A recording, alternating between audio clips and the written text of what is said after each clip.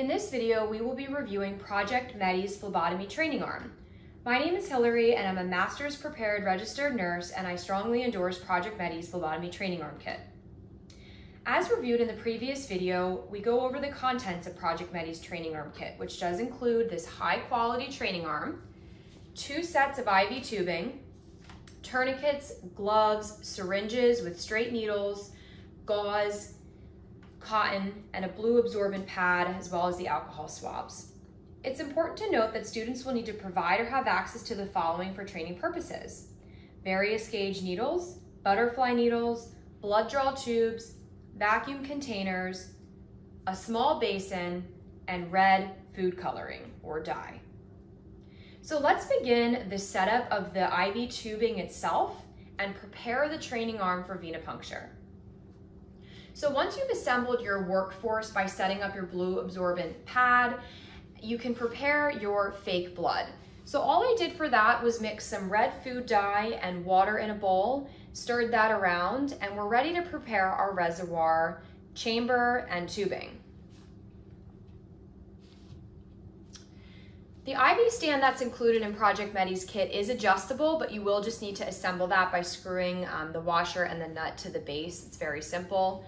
You're gonna have the reservoir container that I've already pre-filled for demonstration purposes.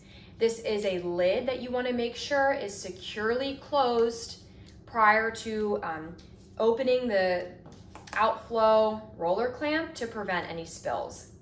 Project Medi's IV tubing comes with this nice handle. So again, you just wanna ensure that the lid is completely secure prior to attaching the handle to the cross arm of the IV stand. For demonstration purposes, we will be exclusively referring to the outflow tubing. Uh, there's also a roller clamp um, here. And then you do have this inflow tubing with an IV spike that would get attached to an IV bag, but we won't be using it in today's video. So you wanna just ensure that the roller clamp is closed for the inflow tubing. And then we can again attach the handle to our cross arm. So when you open the packaging, uh, this is actually gonna be connected to a butterfly needle. So you just wanna unscrew that from the Luer lock mechanism there and set the butterfly needle to the side.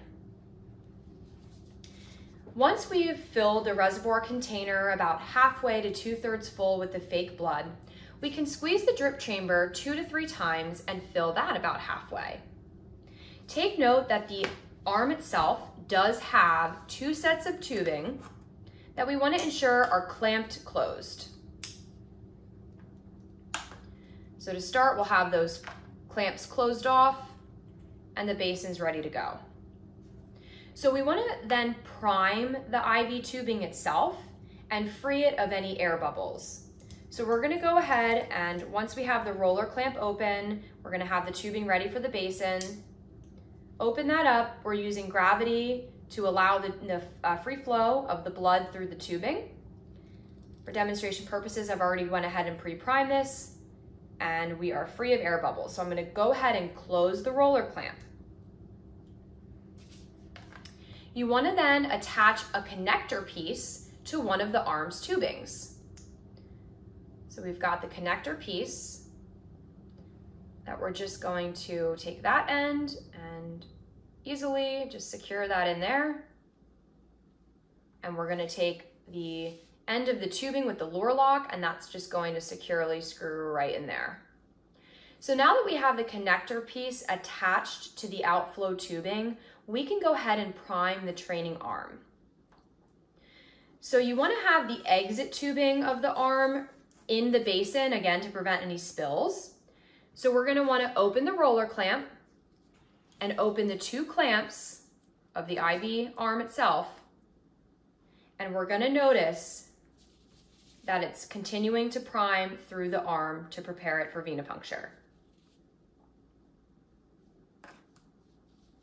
Keep in mind at this step, you can adjust the height of the IV stand by simply just unscrewing the lever. Increasing the height will just help to speed up the flow of, of the blood because we are using gravity to help us with that. So once we have the IV arms tubings prepped, primed, and ready to go, we can close the clamps and the roller clamp down here. And our arm is now ready for venipuncture. To clean out the reservoir container so you can use this multiple times, you would just drain the blood, um, run water through it, run water through the tubing, allow the tubing to dry completely, keeping in mind that if you're using smaller gauge needles for venipuncture, you're gonna get more use out of the arm. You wanna change locations of venipuncture as well, and you can get hundreds, if not thousands of sticks out of this arm. Once you have the water run through and it's all clean and dry, you can safely package it back up. Please reference our next video for lab draws and venipuncture using the Project Medi simulation training arm.